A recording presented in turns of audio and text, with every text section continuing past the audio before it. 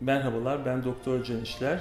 Meme küçültme ameliyatı amacıyla bize müracaat eden bir hastada biz e, neleri bekleriz? Öncelikle bu kişinin ruhsal olarak kendine hazır olduğunu bilmesini ve bunu bizim bilmemizi isteriz.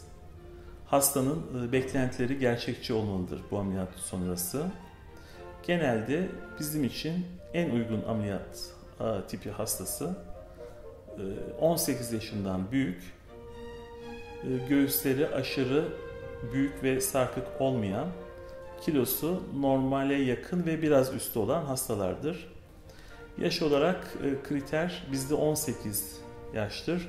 Ancak bazı hastalar aşırı derecede hormonal değişikliğe bağlı memesi büyüktür ve yaşı 16'dır. İnanılmaz şekilde psikolojik rahatsızlık duymaktadır ve fiziksel olarak. Bu tip hastalarda biz anne ve babasının izniyle ameliyat olmasını sağlamaktayız. Ee, bunun dışında emzirmiş e, hastaya, yeni doğan bebeği olan bir hastaya ameliyat yapmayı önermemekteyiz. En az 6 ay sürenin geçmesini e, beklemekteyiz.